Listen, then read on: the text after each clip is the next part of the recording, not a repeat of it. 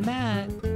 We're an interracial couple with two kids wanting to do something that highlights the power of friendship and what it means to be in the company of true friends. We're going to move our society away and out of the loneliness epidemic and into a friendlier, happier world. Welcome to our friendly world. Better, stronger, together.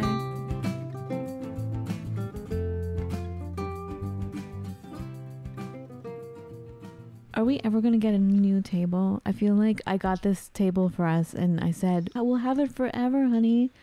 But we're sitting, we. No, no, no, our forever table's in the other room. Well, times were really tough and every dollar counted. And Right. once we started to start to begin to get back on our feet, I saw this uh, toddler picnic table. I'm like, honey, we have to get it With an umbrella. with an umbrella and chairs. And it was like under a hundred dollars, but that was like to us a thousand dollars. And we got it, and to this day we're still sitting. And the kids are now taller than I am, and we're still sitting at the Oh table. wow. Okay. Yeah, now right. I'm looking at the perspective of Matt sitting. At There's the there's my knee right there. There's Yeah. the Look at that! Look at that! Yeah. yeah. So- I'm, I'm not sitting in one of the normal chairs. I have. Wait, there's an ottoman right here. So God, if you're listening to me, please help, help us move. To We have a real table. I know, but we, ah, never mind. Anyway, welcome, welcome back, welcome back to our friendly world, everybody. Hello. So today, today, this show is really important to me because of the bond that I made with our very special guest who's here. Don't say anything yet. He's here. He's listening to us right now. I'm so excited, but there's so much to get into. Literally, like the, my brain has so many asides. Like I want to talk about this and that. Bear with me. I hope I don't go all over the place. I hope that I sound coherent. We're going to begin the root of the matter as we delve into coming from somewhere else and the ways of having to make our way in the world, all the while carrying with us all the emotions, the history, our stories, and are mapping out and figuring out a brave new one, a brave new world that is. Sometimes this is hard to do, especially with the trail of the people who came before us, like our ancestors, grandparents, great grandparents, sometimes even parents who may not have the stories, or they do have the stories, but they're not passed down to us.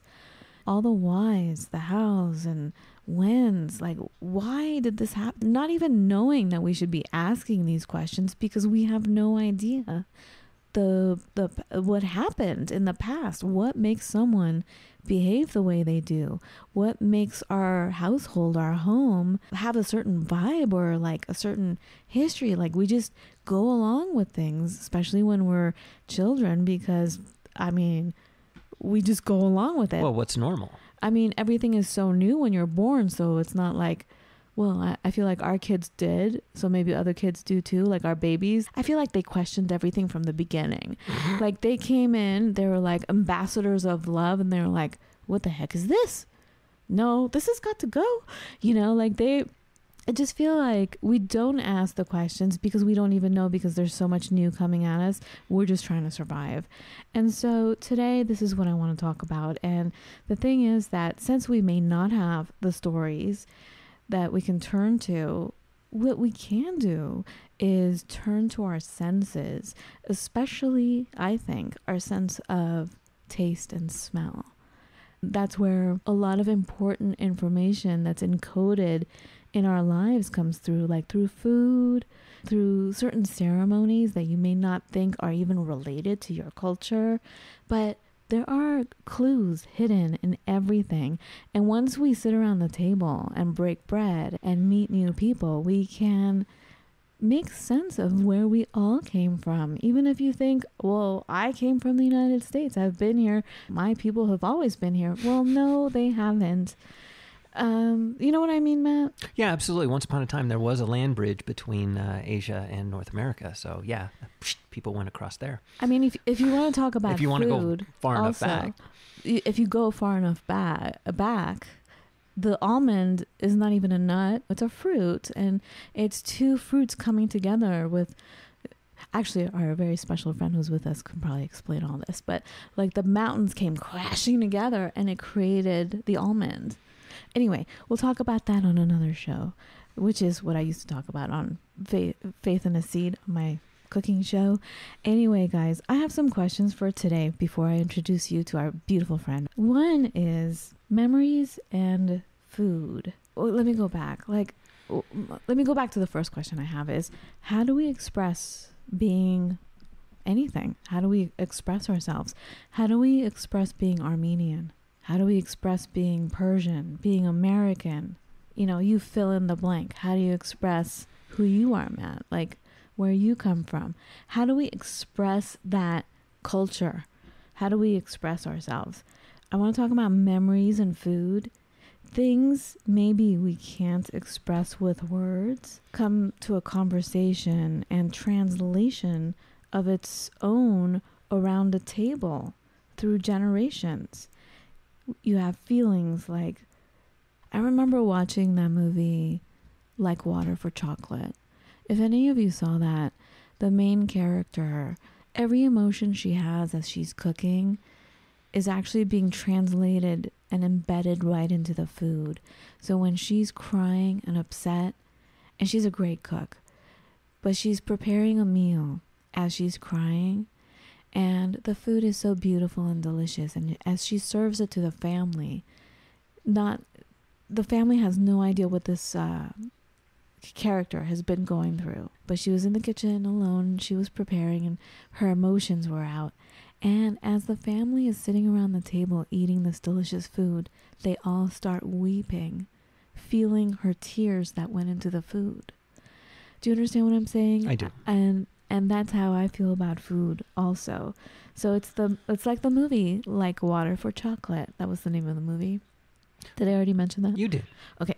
So it, it's like that. That's where I want to go today in taking our emotions but really exploring our history and especially today, I want to talk about the Armenian culture and the Armenian history to some extent. Obviously, we're still trying to learn. We don't know everything. We're just, you know, we, I feel like, what do you say, Matt? History is written by. History is written by the winners. History is written by The usually victors. the the ones who are the bullies that win the fight, Right. right? So you don't necessarily have all the information, especially when you come from the other side of it and you have parents and great grandparents who went through atrocious, horrible nightmares that they don't ever want to talk about again. So the next generation has no clue what's happened. Right. And then they don't know how to communicate with their kids. And it's kind of where I came from. Like my parents, I mean, I barely spoke the same language. Now I feel like I've totally lost my language because we didn't really speak that much. And I was raised in a completely different culture than they were raised in. Even my sisters. I was the youngest and I just adapted because we moved when I was very little. Mm-hmm. And so it was a completely different life. Anyway, those are some questions I have. And what makes us come together at the table? It's usually hunger, loneliness slash companionship, right? Come from exile. We get together at a table for celebration, for conversation, for safety, for learning new things, for brainstorming. I've noticed a lot of over the, the last couple decades, it's the hip thing or it's a mandatory thing to have a meeting at the office over lunch. Which, by the way, I don't agree with. I feel like food is so sacred. That sacred space to nourish myself. Like, I may not have the space or the capacity to keep going over lunch to talk about business. But it's interesting how businesses have also, knowingly or not knowingly, Mm-hmm. come to the table to bring about conversation. The table is really important. Much like our little toddler table over here, that has been our office for our podcast and everything else. So, anyway, I do have some other questions, but now, guys, I want to introduce you to a new friend of yours. I have a new friend for you out there, a new friend to introduce you to. His name is Joseph Krikorian. We call him Joey. He is really interesting. He's totally into sci fi. He's a scientist. Did you know that?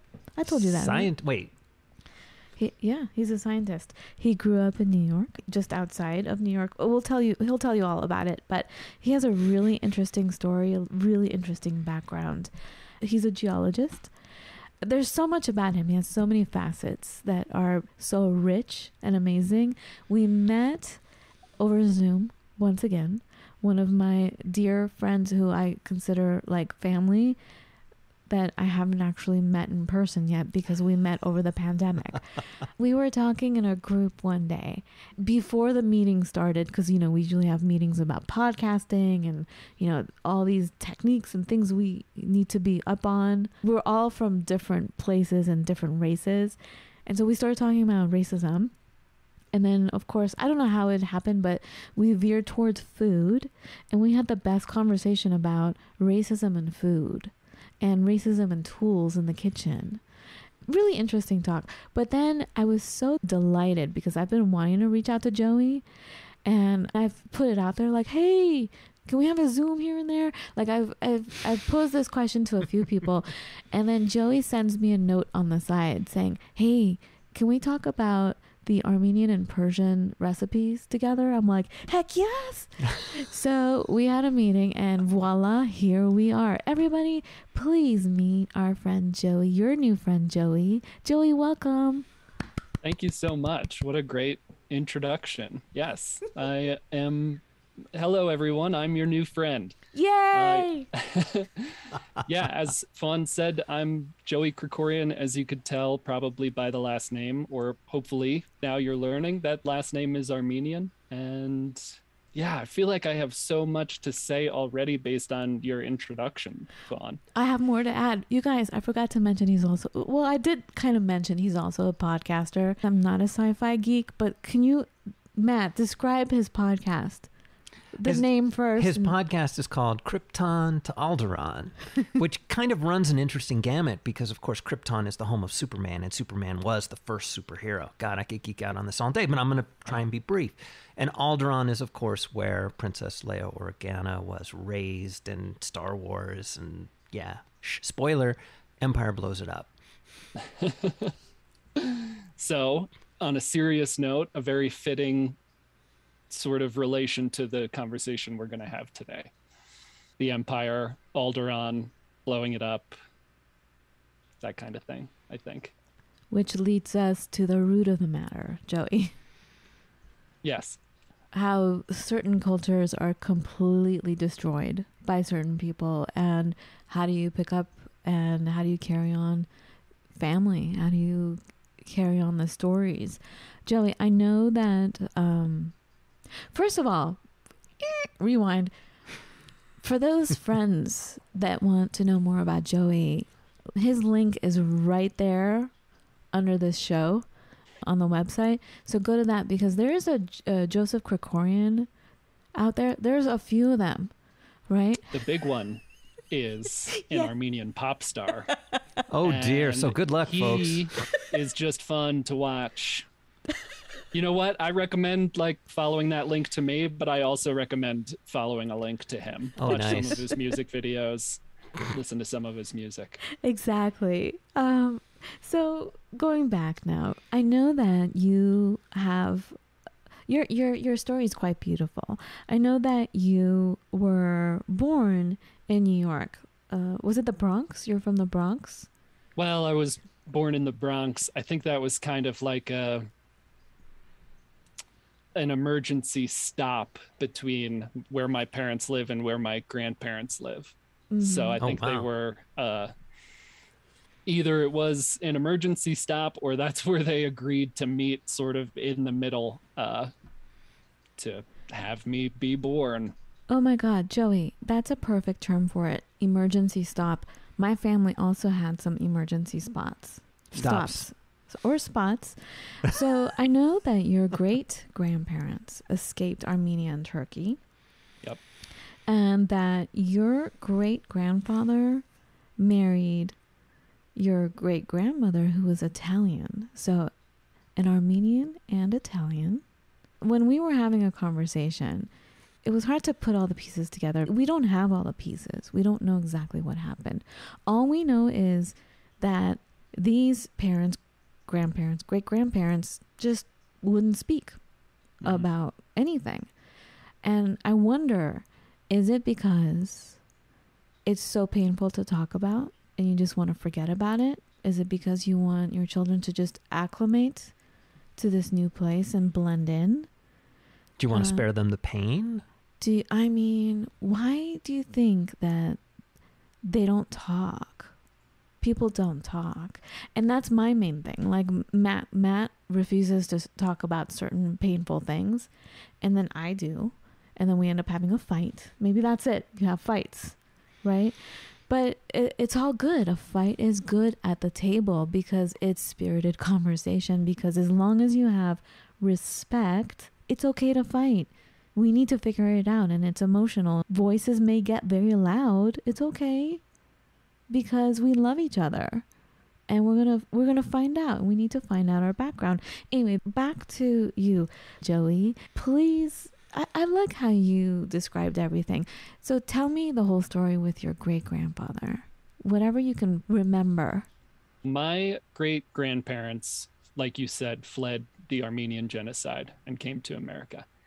And the death march. They they actually lived through the death march they survived yes see that those are points in history that i don't know and no one ever talked about so i don't know exactly where they were you know exactly what part of the uh exactly where in the situation they were in but they managed to get out and managed to get here can i and so they had go ahead I'm sorry, can I interject? First of Sure. all, Armenia is, I believe, the oldest country in the world. Now, let's take a look at that yeah and the richness of everything that comes with a culture. That's amazing.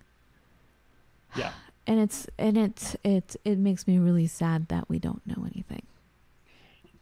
Yeah, I, that's a whole other sort of branch of this conversation is that if people, when people listen to this podcast, for probably or for maybe a significant amount of them, this is the first time they're hearing of the Armenian genocide or the extent to which it took place. You know, it's not taught in schools. Up until this year, it was not recognized as a genocide on the federal level. You know, that's something that happened this year. It was recognized on the state level in many states. So over a hundred years of not recognition in, from this country that it actually happened. So it's really hard uh, to. It's hard to I don't know gain traction talking about that kind of thing with people because they've never heard of it you know how could it be that they never heard of something that horrible happening and that you know the country that they live in has never recognized it and for many armenians who fled here for refuge having living then in a country that refused to recognize it for various reasons. I can't imagine the toll that that had on people. And so yeah it's just crazy and it's not something a lot of people have heard of. I mean, we talk about this all the time in our home because there are so many cultures that have also gone through this, but we can't talk about it sometimes because, I mean, just speaking about what happened with the Armenian people, you can end up dead. Sure. So do your own research out there, friends. Um, figure it out because to this day, we seriously can't say anything without having serious consequences. hmm Um, yeah i i would recommend for anyone listening that wants to know more i mean there's ample research the great thing is that uh, you know we can google anything now but if you're wanting to read a wonderful book that goes through personal and event history it's called a hundred year walk by dawn anahid MacKeen it's a wonderful book. She goes and retraces her grandfather's step, who survived the death march and kept a journal. And so she finds his journals in, you know, they live in LA now. She and her family live in LA. She finds her father's, her grandfather's journals and she goes over there and retraces his steps through from beginning to end. So it's a really incredible book and it's filled with, like I said, personal and, and world history. And it's really interesting read. So what made you suddenly? I feel like it was a sudden. Was it a sudden thing, Joey? Like trying to figure out what exactly happened and where you came from and how did that happen for you and when did it happen? That's a great question. I probably can't put my finger on exactly when it happened, but like we were saying, like you were saying earlier, for a certain amount of generations afterwards, people don't want to talk about uh, atrocities that were committed against them. So I didn't know my great grandparents. They had several children. One of them was my grandfather, and I knew him. And I spent a lot of time growing up with my grandmother. That's the grandfather that was Armenian that married my Italian grandmother. So I spent a lot of time of my childhood with them. There was never any Armenian talked about. You know, I knew our last name was Armenian. I knew that there was the Armenian genocide, that kind of thing was discussed a little bit, but we never had any other conversations about the culture or the food. We never had Armenian food, whatever that might be. We never had any of that. It was all the Italian stuff, which was great. Don't get me wrong. I loved it. Um, but I didn't know what I was missing, you know. So my grandfather died when I was 20. And after that, I just got into wanting to understand where my ancestors came from. Like I said, I was raised by these two people, so I identify heavily with those two, with the Italian and Armenian side of my family. So after he died, I think I really got into researching and got and started to understand sort of what a what a uh, uh, what's the right word started to understand that uh, it was lacking that I didn't ask him questions before well, you know, when I had the chance. And I, I just didn't understand, like you were saying earlier, I didn't understand that I should. I was a teenager and a 20 year old and caught up in my own world. But looking back, obviously, we all look back and wish we could have done stuff differently. I just wish I could have gotten that personal experience. It's why I really love that book I mentioned earlier because she actually gets that and she has like the written documentation of it. But I would say that that's probably when I really started diving into it and that opened the door to all the genealogy stuff. Unfortunately, with the Italian side of things, it's easy it's easier to trace back right just from a desktop armchair you know family genealogical research. With the armenian stuff you just hit a wall. I mean you can't trace it any further back than when they got here uh, you know and the the people that were left the very few armenians that were left after world war one scattered or during world war one scattered. And so you it's impossible to track down anybody you might have been related to. You know they changed their names. So it's difficult to do the research, but that's my long-winded way of saying probably when I was 20. yeah, I feel like when it's okay. I mean, I feel like uh, I say it's okay trying to express to you that it's never too late and I feel like at that time where you became hyper aware of your background and your heritage, it was most likely your grandfather actually still talking to you and it's nothing like the perfect time is the perfect time is now to study and to learn because I do believe that the answers are there. I do believe that they are encoded in everything. And so, which leads me to food because as we were talking about all this, it felt very familiar to me also. Coming from being Persian, Persians and Armenians are very close. And our language is almost the same. If, if if I dare say that, I could be wrong, but there are so many words that are similar, many words, and our food is very similar. And growing up, I always heard Armenian this, Armenian that in such a lovely way. Like, oh, they're Armenian. It felt like a brotherhood, sisterhood to me. Just being an ignorant child, not knowing what's happening. I just, you know, you would hear about this other culture, Mm-hmm. but it, it felt like, oh, our brothers and sisters over here, you know, like, oh, that's a slight variation with the Armenian dish over here, as opposed to the slight variation of the same dish with the Persians over here. And Mhm. so when we bonded over food and spices and scents, I was like, yay. And it's so funny because you are, how do I say this?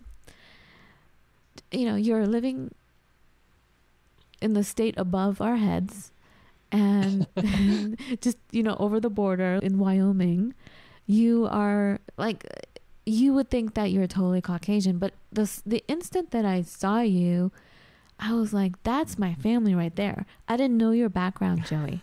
I really didn't. I didn't know anything about you, but I felt the sense of family. Like I, I always tell Matt, like when I was really little, I could spot someone who was Persian from Iran. This is way before um, there were a lot of Persians in the United States, but I could spot them at five years old from three blocks away. And I would start yelling at them, hello, in Farsi. And I could see them tensing up because they wanted to hide their culture. They wanted to hide who they were for survival reasons, right? Because, you know, the Middle East, like all the cultures in the Middle East seem to be always um, the bad guys. And especially in the West, you don't you, to to survive. You just don't want to be seen as anything. You just want to blend in. And here I am, five years old, in Farsi, saying hello, you know. And and then when they would get closer, they would kind of nod to me that gangster nod. I What's shouldn't up? say gangster nod, but like they would like nod to me like yes, hello. Yeah, yeah. oh, nice. One of, okay, Yeah. long-winded way of saying I recognized you, Joey, from far, from far away through Zoom. I knew there was a connection. well, that's great. I love that. And I should say, I am like very Caucasian. I'm very white. So it's, you know, uh, I don't know. It's like I'm very white. I'm trying to look into my Armenian, my Middle Eastern roots. So I, you know, y'all talk a lot of about racism on this race on this show and racism subsequently. But uh, I guess I just want to I don't know. I guess I just want to put that out there. Like I'm trying to understand my ancestors' culture and the culture of the Middle East and and the Persian culture i- i- and all of it as this, you know, I don't know, white guy in Wyoming. So yeah, I'm just trying to understand all of it, and I appreciate and I'm very happy that you recognize me as that. Fawn. Thank you. And I just want to preface I also want to say that I, I hope I'm I'm sure I sound terrible. Matt is always pointing out that I sound racist.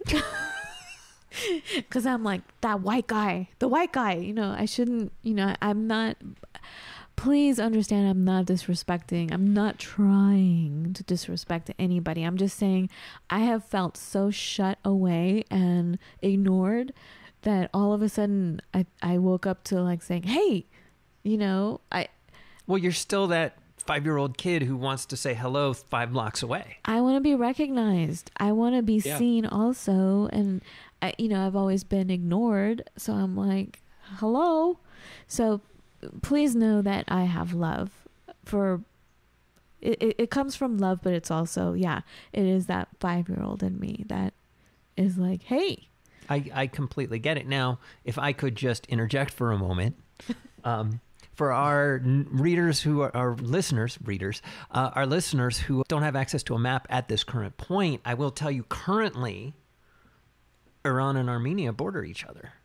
So it's kind of no surprise. And if you take a look at Iraq being the cradle of quote unquote cradle of civilization, whatever that means, but if all Actu- culture yeah. started there and spread out, Well, guess what? It's going to go through Iran and then immediately to Armenia. So Um, it it started with Armenia. Armenia is actually the cradle of civilization. And like there you go. Are, they are the ones, by the way. Which leads us to make sure you stick around for the end of the show. We have a surprise for you. Um, so, so Joey, hmm where do we go from here? As we started to talk, you know, during our first like one-on-one friendship talk, immediately we had one thing in common, and it was a spice. Somar. Mm. I call it somar, but it's you su- mean sumac? yes. So, how do you use that spice? First of all, Matt, how do you, in American terms, describe sumac? Sumac. Well, it's this almost powdery, not really powdery. It's a little moist, but it's powdery, grainy. It's magenta, and it tastes like lemon. And it, it is the most amazing flavor. But, Joey, I can only use it raw. Like, Persians put it over rice or over their whatever proteins they're eating. What do you do with it? So, I just got these spices, these like different Armenian, Persian, that you know that that set of spices several months ago. You got the collection um, I got the collection. Yes, in the pretty tins. they're beautiful. It's really like pieces of artwork up on the spice rack. But I hear you, brother. I have, I got them, and I have a Lebanese friend who's a chef, and I co- communicated with her, and, and she taught me how to use them.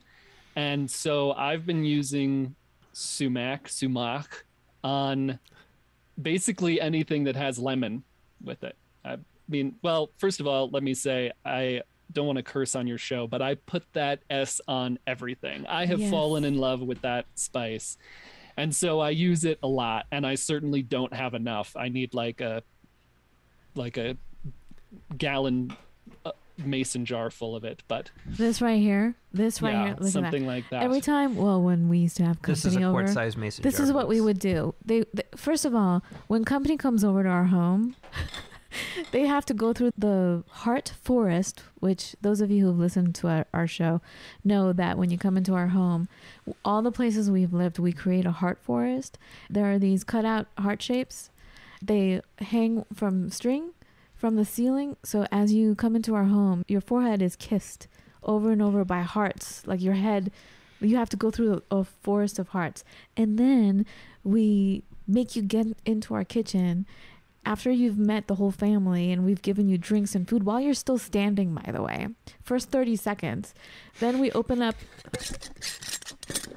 all our spices and we're like, sniff this, smell it. so this is our big, I don't know, how many ounces is this? It's I think uh, that said quart size. it's a big mason jar of Yeah. somak. It's one of the things we have people smell. and we never let it get low. Never. No. And the I other thing, absolutely Joey. love it. Yeah. Wait.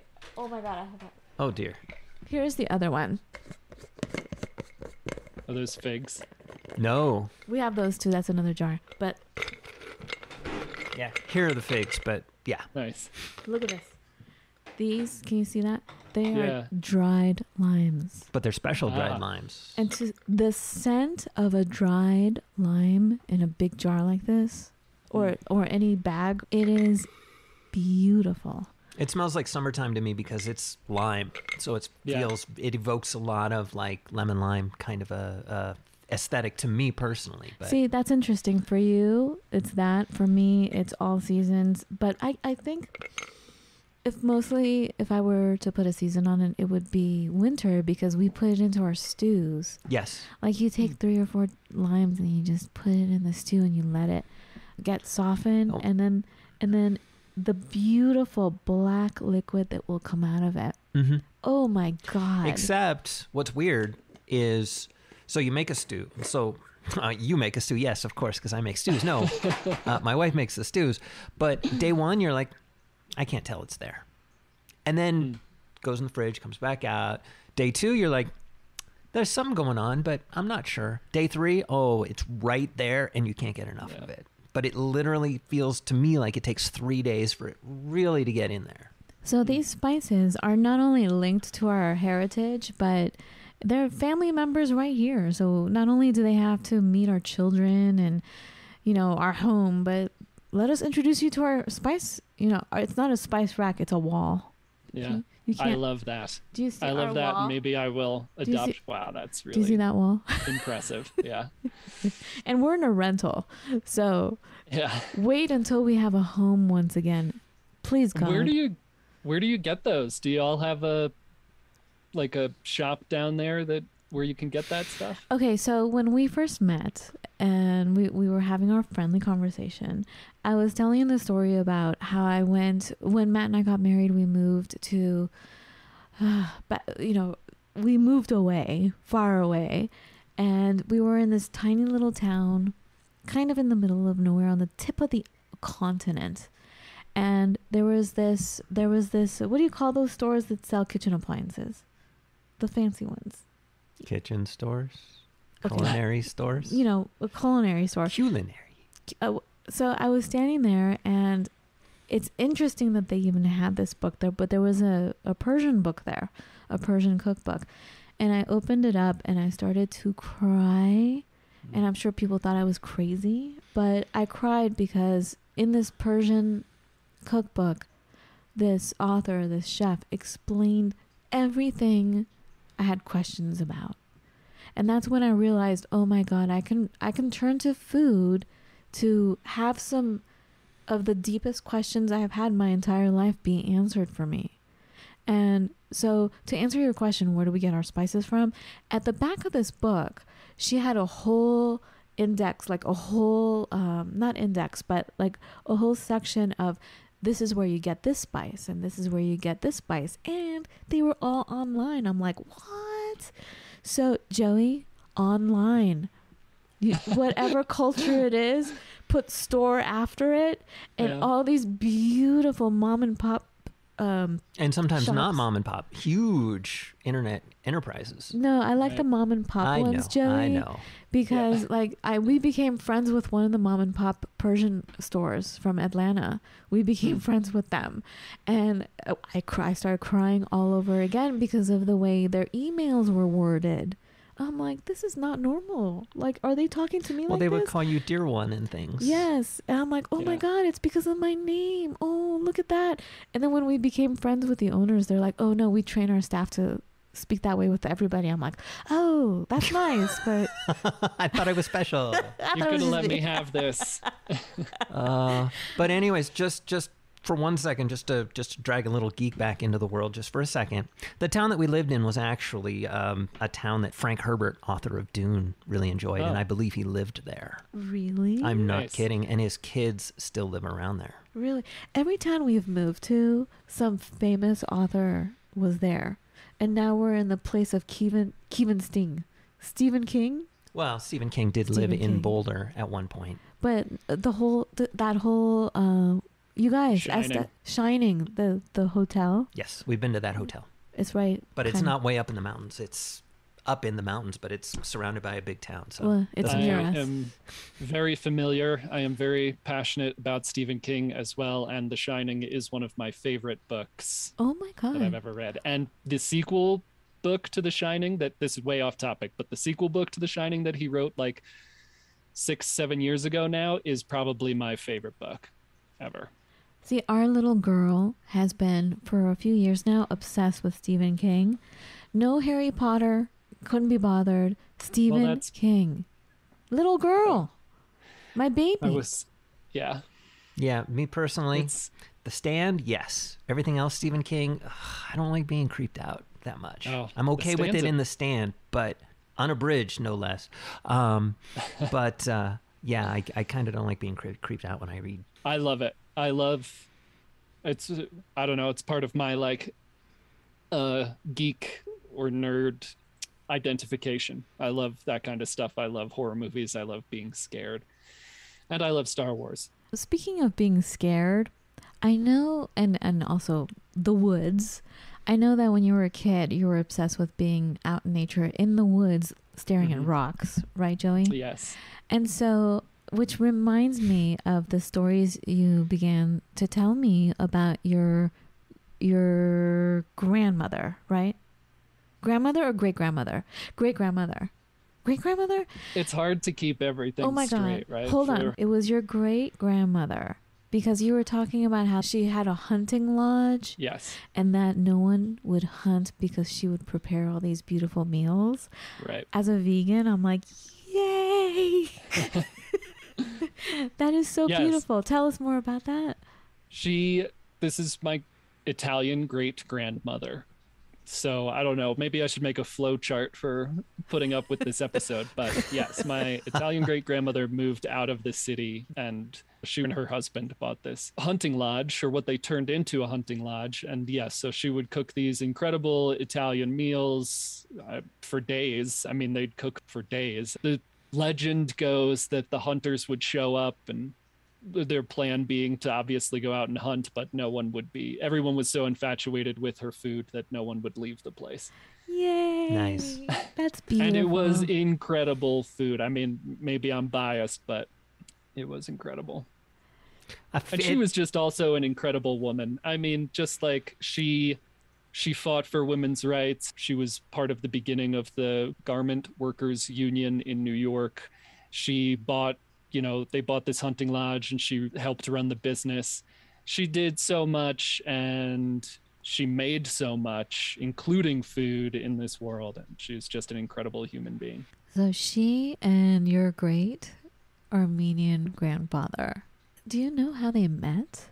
So she, uh, see, it's it's so complicated. She married an Italian guy. They were both Italian. Her daughter was the one who married the Armenian, my Armenian grandfather. So I'm actually not sure how they met. You know, that's another thing that I don't know. Maybe my father knows, but that I've never asked about to my recollection. I guess. So, oh my God, Joey, we got to find out how they met. That's one of Yeah. my big things is like, how do people meet? How do they meet their loves? right. I will find out. We'll do. I'll do a follow up. even the most banal stories can be just so intriguing due to the time. You know, crossing cultures is always interesting as far as how that was actually managed to happen, particularly looking backwards. Right. And in New York City, both of their families came to New York City. And then, and to some extent, still now, you know, New York City is comprised of these cultural groups, these, you know, Right. concentrated cultural groups. And so I assume that they met there when these groups weren't too far away from each other. But yeah, question worth asking now that I'm like talking about wanting to know more about my family history. Right. And oftentimes, though, cultures, yes, they will to some extent melt, but marriage, it's. Yeah. That's a much bigger thing, and that usually Right. involves some angst somewhere. So, mm-hmm. overcoming that. For sure. And then also speaking about groups, why do you suppose certain groups end up in certain spots? Like, I know the Armenian and Persian culture are very big in Los Angeles and New York. What was the term you used, Joey? The emergency stop? Yeah. One of our emergency stops was New York. And then we went, we made it out to LA. And when my family, I think, went out to LA, there were hardly any Persian people out there. Nobody. That's why it was so weird for me to spot somebody. And when I did, I would yell at them, like yell hello in Farsi. And so I'm wondering, how does that really happen? And um, my theory was that one person will go there and it becomes this anchor, this light that you can get drawn to. I was telling Joey that when I was a student in Europe, when I was studying in England, Mhm. and I would go to Europe, I would on on my breaks, I would go to Paris or something. But I remember this one day from far, far, far away. I saw someone about my age, blonde, so my opposite. She turned around and she had a sweatshirt on, and I think it said Nebraska. and I yelled at her the way I yelled to the Persian guy when I was five years old, three blocks away. Hello! I was like waving Nebraska! Hey, hey! And so she was American. And I was like, oh my God, what a lucky, fortunate event that I I'm seeing you. You're from the United States, girl. So am I. I was, Do you know what I mean? Like we're drawn together for safety reasons, probably. Mm. You know, it's that primal need to stick together, Right. For safety reasons, Mhm. right? And so, anyway, like I met so many people like that because of a sweatshirt or a t-shirt. But it's interesting. I think that if there's any kind of a hint of some kind of relation, even if it's not directly relation related, it is like, oh my God, we come from the same place. We don't Mhm. have to go and retell our stories again because you know. I don't have to go through the effort of explaining myself to you because I can relax in, in knowing that you know me.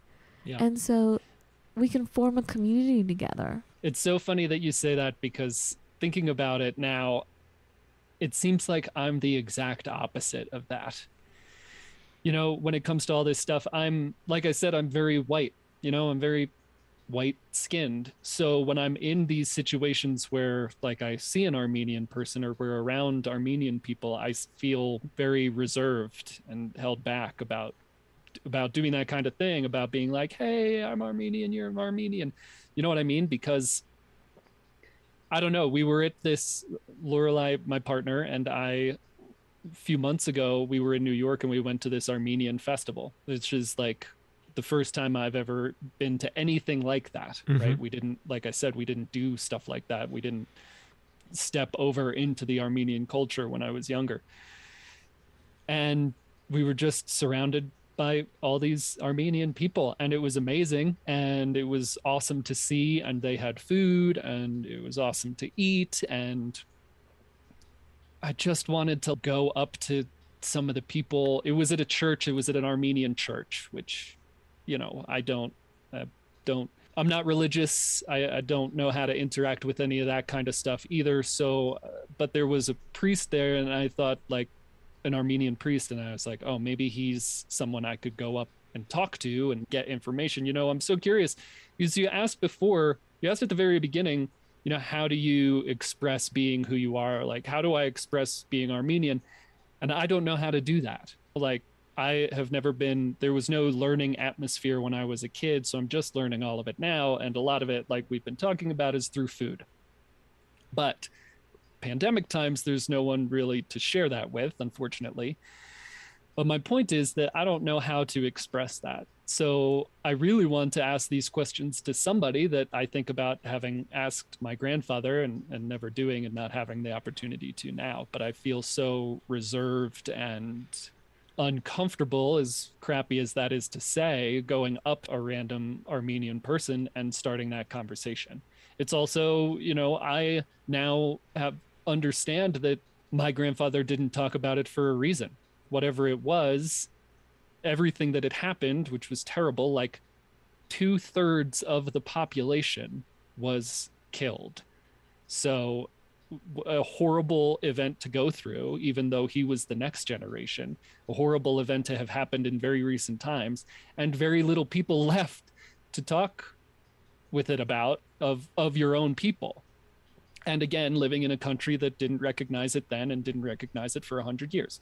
So my point is i didn't know how to express it. And they i think in their reservation to talk about stuff like that gave up on what you what we've been talking about like the sense of taste and the sense of smell and all of that connecting them to something because i think that that connection was hard to heal so i just don't interact with those people in the same way as you as you're explaining that you do i really wish i did maybe if i like had a few drinks of armenian wine in me i'd like have the courage to go up to them and talk about that And uh, that's where friendship comes in. I mean, you know, thank God we have become friends because I've become quite like I feel like I'm a renegade because someone not liking me is of no consequence to me anymore.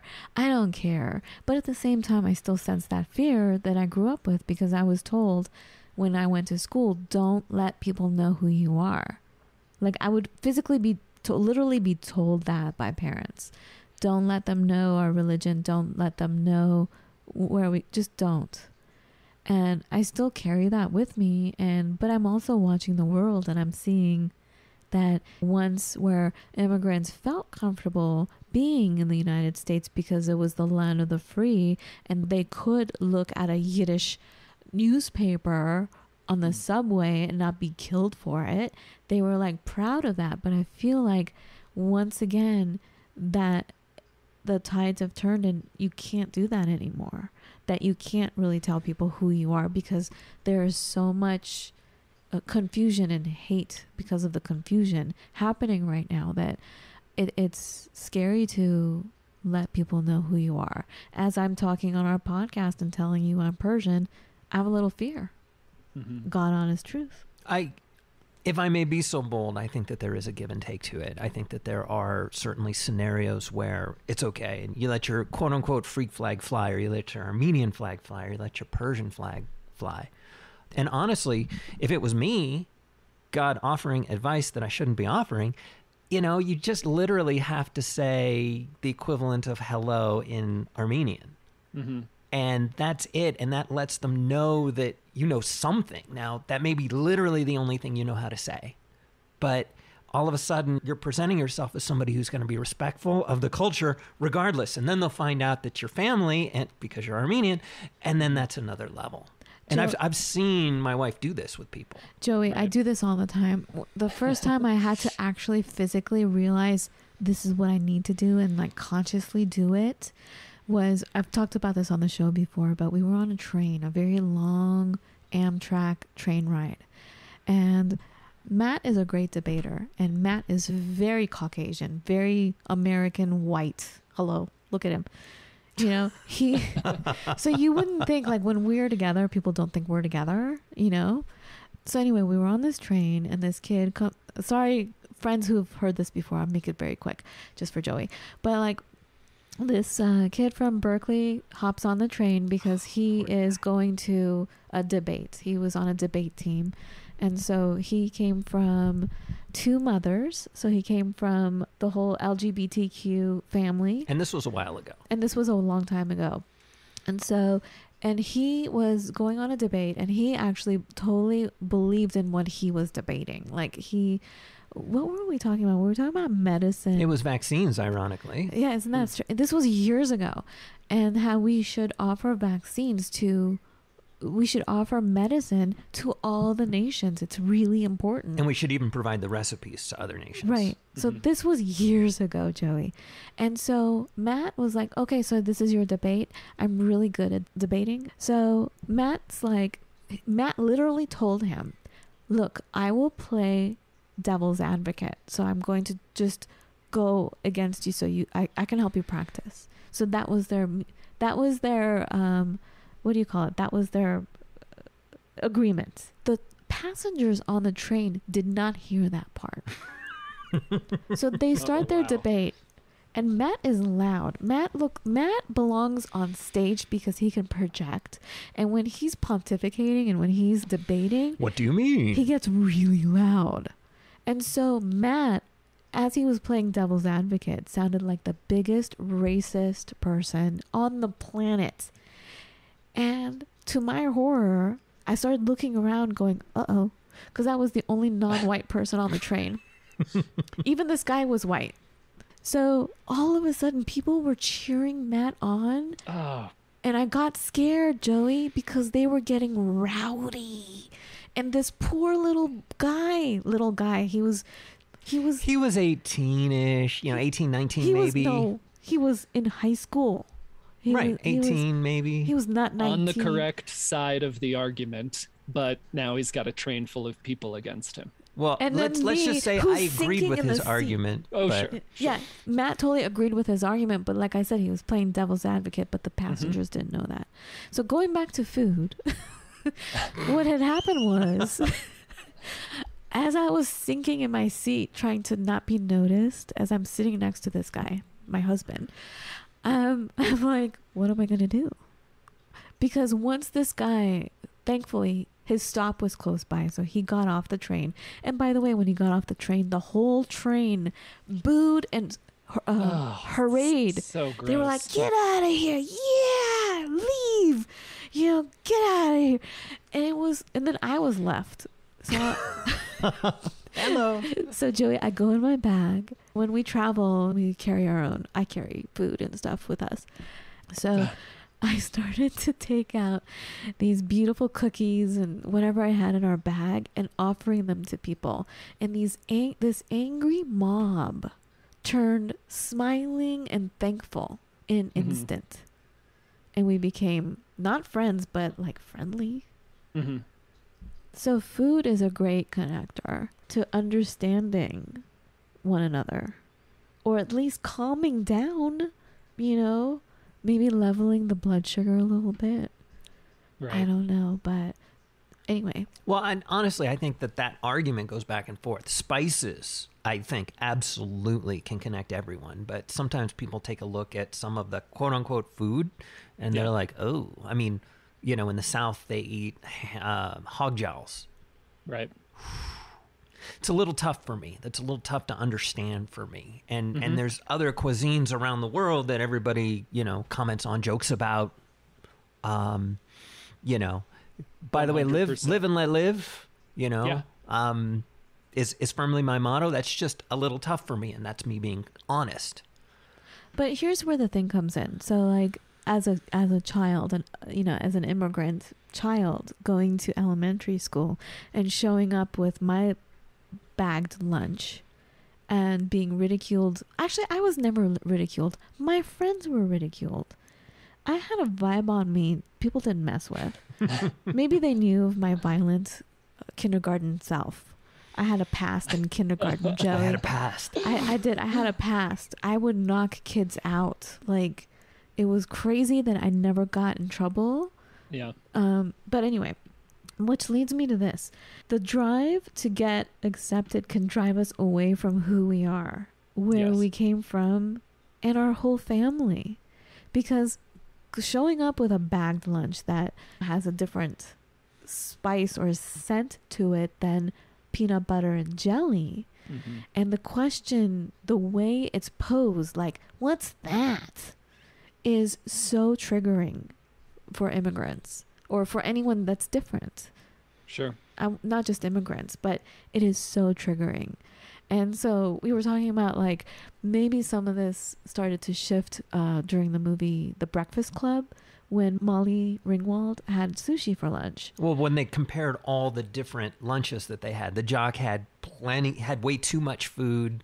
Mhm. Um, But Ally Sheedy sandwiches. had uh, Pixy Stix and bread.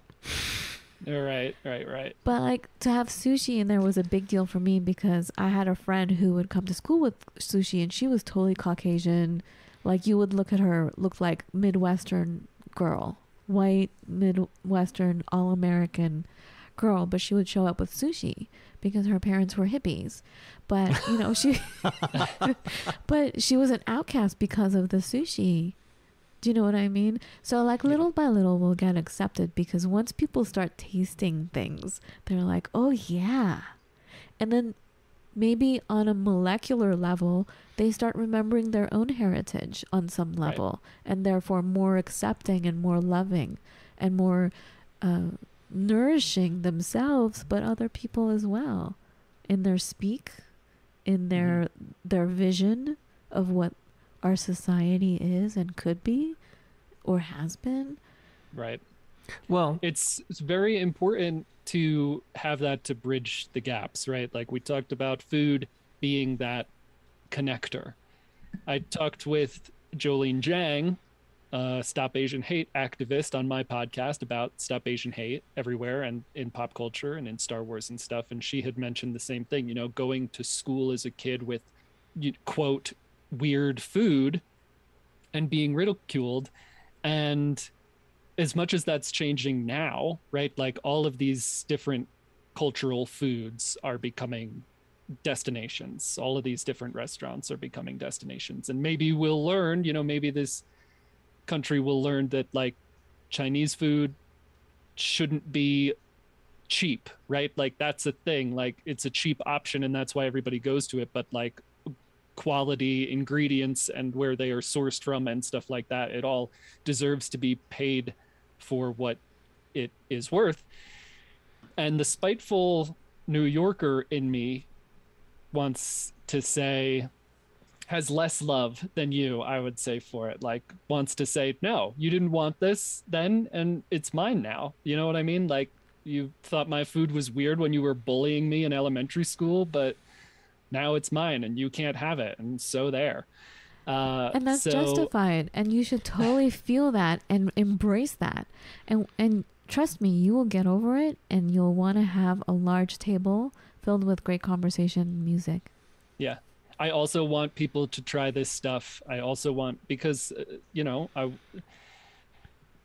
i want everyone to understand everyone right? That's just where we're at in the world. Everyone just understand everyone and be okay with everyone and we'll all get by um absolutely so and food is the best bridge for that like you're saying inviting people in like we have to be the people who understand that to invite people in and add that as a like link in the chain Well, we always talk about change we always talk about it's important to be a good host. So yes, And right Yeah. there. the key here is nourishment you know we talk about on our show all the time uh, the term comes up quite a bit of capacity. People don't have the capacity for friendship anymore. Why? So we get to the root of that. That's what we talk Mhm. about constantly is what is at the root of that? What is the root of this particular matter? It's because we are extended beyond belief with stress. Even if it's stress that you don't even you're not even aware of it's passed down to you generation to generation. You may not know the exact whens whys hows of it but it's in your blood. Like the african american population has hypertension because it's the stress from generations that's embedded in everything. Right. And I think the key, this is why proper nutrition is important. And by nutrition, I'm talking about nourishment. Mhm. And nourishment comes in the form of food, it comes in the form of art, conversation, music, and it can be all brought to the table. So I have a special ask of you, Joey. Are you ready? i i am ready I, I want to continue this conversation and I I have an assignment for you, for me, and for our friends listening. We're gonna bring in Joey's expertise here Mm. as a geologist. And i'll try my best and I want you to incorporate geology with anthropology and archaeology. Are you ready? sure So there is this, and please forgive me, my Armenian friends out there. I'm mispronouncing everything, and please, if you could come on our show and help me pronounce things properly, that would be amazing. And maybe we could share some other ideas, and I can learn some more. Joey can learn some more also, but me especially. I'm I'm I really need to learn. I I was wondering if we could all do a bread together and break this bread together on the show. Besides photography, when the kids were born, I'm like, well, photography is so hard and I'm always on location. It'll just be easier and better. I'll have way more time if I was a baker. So it's a joke. I mean, I became a baker. I started my own vegan bakery. It was ridiculous. I, I cried all day, every day. Talk about no time for anything, and I was exhausted. But anyway, um, I'm really obsessed with baking, and I had to show the Wish Baker Faith in a Seed and I want to I've always wanted to continue that on with our friendly world because of everything we talked about today because it is about friendship and I would like to make bread and break it with all of you guys. So I'm going to give you a, a simple list of ingredients. Everyone go get if you can. And these will be posted in the show notes as well. Right? Yes, they'll be in the show notes. But I was wondering if we could make an Armenian gata bread. G A T A. Gata? Or I, w- I would have said gata, but they were saying gata online. Hmm. It's a beautiful sweet bread. I actually grew up with this, Joey. Oh yeah Yeah, I did. And so it's it's it's, it's something that I've never had again. Like I, I've just started collecting these Armenian cookbooks. You know, I bought a few at that Armenian festival that I was talking about earlier. And so there are all these recipes in it of stuff I've obviously never had. But I just came across this or I just came across a like blog post about this bread the other day, I think it was. Maybe it was an Instagram post from a baker that I follow on Instagram and get his newsletter, Andrew Janjigian, I think is how you pronounce his last name, but he owns a bakery called Word Loaf. And I think it's somewhere in Massachusetts. Anyway, give give World Word W O R D Loaf a follow. And he's got amazing pictures of all of this, all of these Armenian breads and Asian and Middle Eastern breads and stuff like that. And I want to start with this bread, Joey, because for several reasons. But this dessert, it's an actual dessert. It's very rich and heavy and light at the same time. It is incredibly nourishing to the soul. It is beautiful. It's a major dessert served at the most important celebrations. It's often called the jewel of the feast table. So I thought it's befitting for our gatherings at our table, at our friendly world, for us to sprout this off with creating this beautiful ceremonial bread. It's it. the queen of Armenian dessert, is what it's called. Wow. That's the, nice. the nickname for it. So, you guys, please get. By the way, I'm going to tell you eggs, but you know, you all know I'm vegan, and I'm going to make the vegan version with you. I'm going to tell you how. And Joey, you're more than welcome to do the vegan version with me, or you can do your own. But we're going to, on our next podcast, we're going to bake together as we're talking. Okay? Nice. I love that. So, I 100% love that. Here is the list of ingredients for our ceremony bread. You need two eggs. Instead of eggs, us vegans are going to use aquafaba, which is the best egg replacement what you do is you can use it out of the can. I don't. I always boil chickpeas. It's the water from beans, and chickpeas work the best. If you want to make anything meringue, by the way, if you beat a little bit of this with some cream of tartar, it makes better stiff white peaks like um, how people beat egg whites. It's better to use aquafaba because you get mm. stiffer, the most amazing white peaks. We need two eggs so get yourself some aquafaba. You can just get the chickpea cans, or you can boil two to four cups of chickpeas in a big pot of water and save that water. It'll be kind of gelatinized, the liquid, and that's what we want. You want to save that. You want to strain that part and put it in a jar, a mason jar, my favorite. I can't get enough. And just put it in the fridge. So we need two eggs. I would say so I'm going to veer away from the recipe and add my own Persian flavor to it, which is actually probably Armenian also. We need dates. I would mm. say maybe 8 to 10 dates. A handful of walnuts. I say half a cup of sugar, guys, but um, for vegans out there, you know what to do for sugar. So evaporated cane juice. We need 3 cups of flour one package of instant yeast. You need baking soda, a little salt. Just to be safe, two sticks of butter. We don't actually use two sticks of butter, but have two sticks of butter handy. And for my vegan friends, you know what to do for butter. You can get any vegan butter out there, or you can even use coconut uh, oil. Some vanilla extract, some cardamom, not necessary, but I would put in some cardamom, cinnamon, Rose water, guys, the best rose water is Cortas, C O R T A S. Again, you don't need to use the rose water, and it needs to be rose water like Middle Eastern rose water. This is not perfume, guys, okay? It is edible rose water, and it is divine. And that's it. How do we bring geology and archaeology and all that into it? It's the decoration of this bread that is key. Joey, they have stamps that they've traced to I don't have my notes in front of me, but like ba- basically the beginning of civilization. Hmm. They have these I'll show you pictures. I'll share it with you and we'll share it with our friends on the sure. next show. but they found these stamps that date back many, many, many, many, many thousands of years. And these are the stamps that are used on this bread because it is a ceremonial bread. It is for, it has its purpose for a certain deities. I'll, I'll share more information on our next show. It's really beautiful. The designs and each design has a certain meaning to Yeah. it.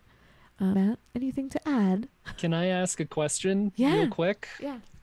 Do you all have maybe this is a question for our baking episode, but I'm going to do it now so I know how what to do.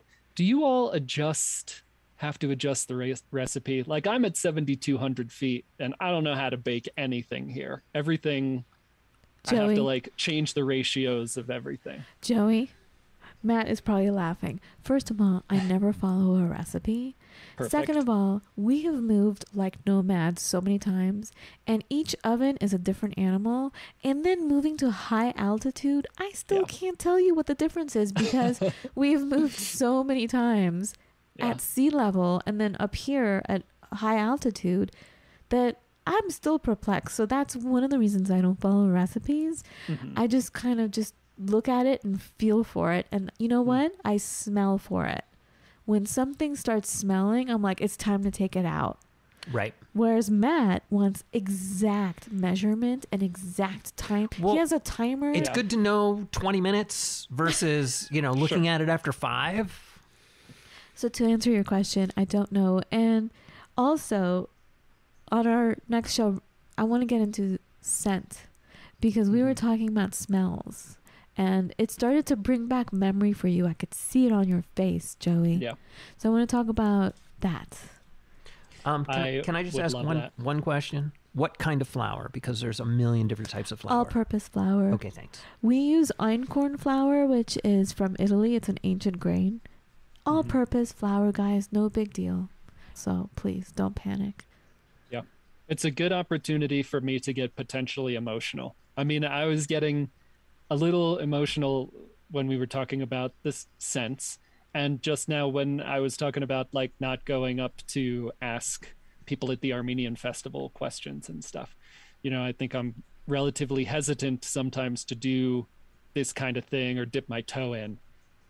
I don't know why. But this is how we I'm express ourselves. About that kind of thing. This Yeah, is exactly how we do it. I'm like, Joey, get some of the rose water, splash it around, put it in your tea, throw it in the air. I'm telling you, put it on your forehead.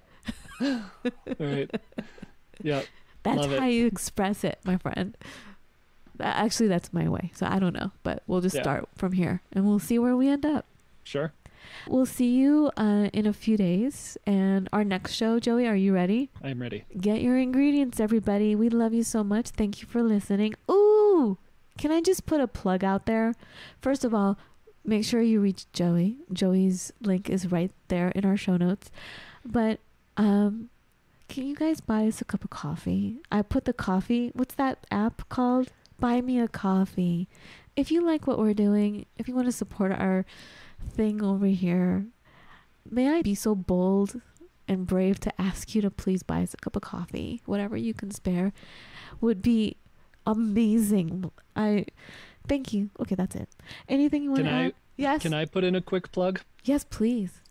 Just for anyone out there who is listening to this that is Armenian, like I said, I'm I have questions. I'd love to talk to people. I haven't had many Armenians in my life to talk to. So if you're listening and you'd like to talk, please reach out. All of my contact info will be through that link that that Fawn is putting in the uh in Show the show notes. notes. So please, And please, please website. reach out.